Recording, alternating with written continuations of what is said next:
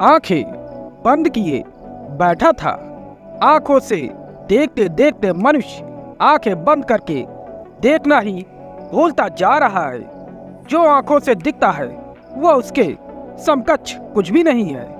जो आँखें बंद करके दिख आता है, आँख का छोटा सा पर्दा तो दुनियाओं को अलग करता है और जोड़ता है।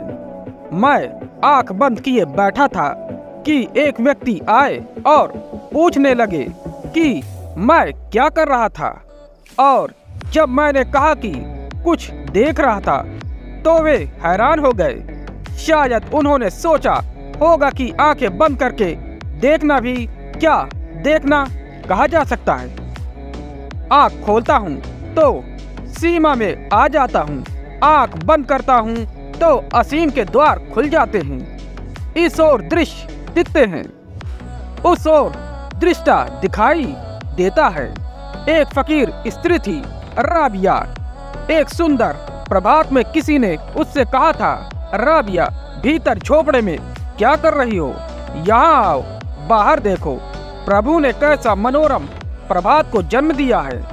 राबिया ने भीतर से कहा था, तुम बाहर जिस प्रभात को देख रहे हो, मैं भीतर उसके ही बनाने वालों को देख रही हूँ। मित्र तुम ही भीतर आ जाओ और जो यहाँ है, उस सौंदर्य के आगे, बाहर के किसी सौंदर्य का कोई अर्थ नहीं है, पर कितने हैं, जो आँख बंद करके भी बाहर ही नहीं बने रहेंगे।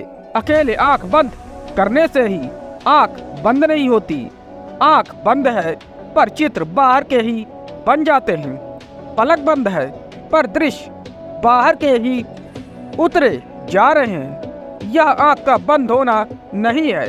आँख के बंद होने का अर्थ है शून्यता स्वप्नों से, विचारों से मुक्ति।